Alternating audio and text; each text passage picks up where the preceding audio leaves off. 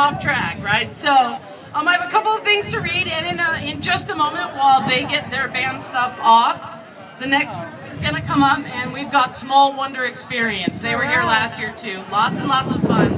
Oh my God! Thank you for inviting me here to perform on this kite, for God's sakes.